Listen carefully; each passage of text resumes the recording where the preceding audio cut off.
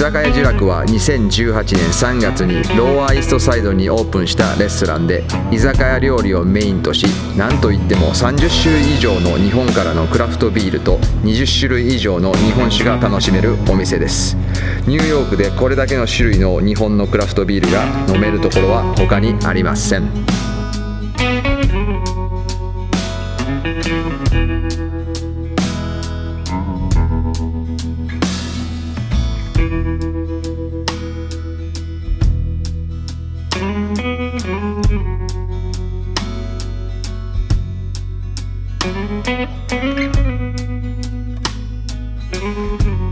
皆さん、毎度ニューヨークでビール飲みでやっているヨシです。Hello everyone, I'm Yoshi, a beer normally in New York. 本日もまた一本ビールを紹介したいと思っております。Today I'm going to introduce a beer. 本日ご紹介するビールはこちらです。Today's beer is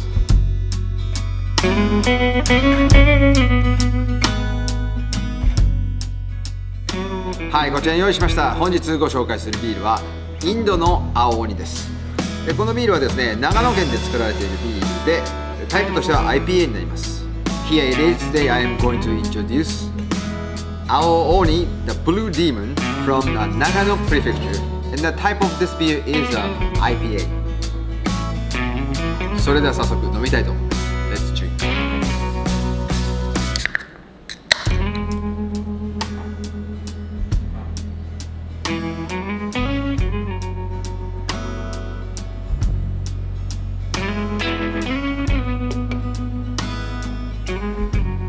色はそうですね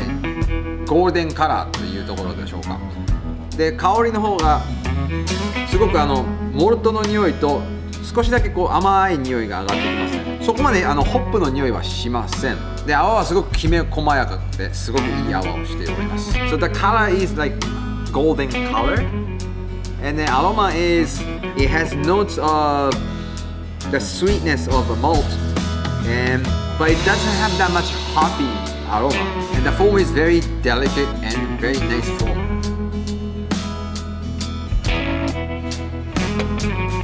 それではいただきます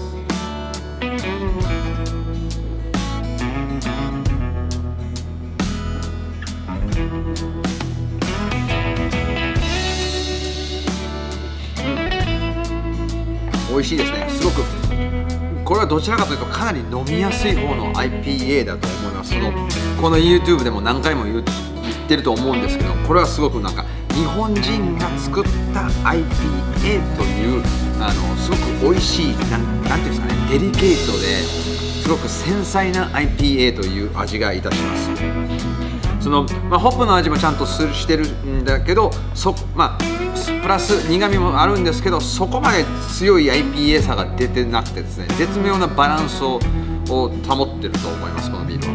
This beer is IPA but it doesn't have that much like a rough IPA taste it's very delicate and like nice IPA um, I, I usually say I mean this is a Japanese beer but when they when the Japanese people make IPA it's like um, I think they love to make beer. And then also IPA is kind of new to them but somehow they can make the Japanese style of IPA it is very easy to drink and I think it's great beer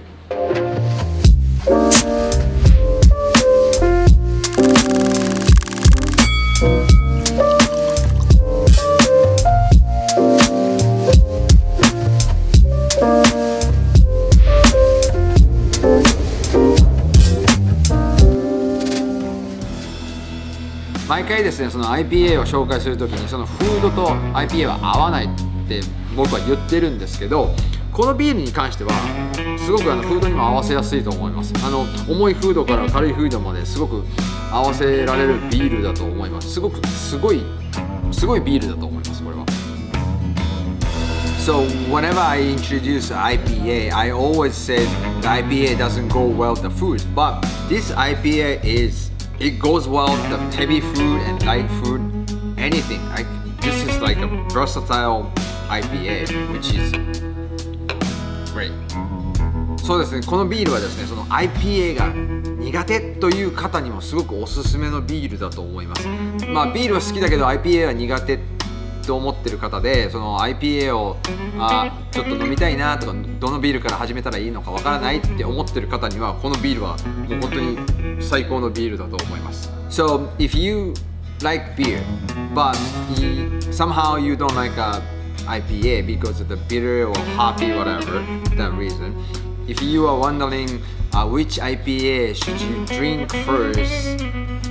this is the beer for you This is a great beer to getting into the IPA world. 総合評価をいたしますとこの IPA はすごく飲みやすい IPA ですごく繊細で滑らかな IPA だと思います。その IPA が苦手という方にはぜひぜひ飲んでもらいたい IPA ですね。そのまあその IPA 好きの方からすると物足りない部分もあるかもしれませんけどすごく美味しい IPA だと思います Overall this is this is a, a IPA beer but it's more like a delicate or smooth or easy to drink IPA so this beer is a great introduction to the IPA beers 以上インドの青鬼でした This was 青鬼ブルーディーモンそれではまた次回の動画でお会いしましょうそれではまた次回の動画でお会いしましょうビール飲みでのよしでした I will see you in the next video I'm Yoshi Apie Nombre See you soon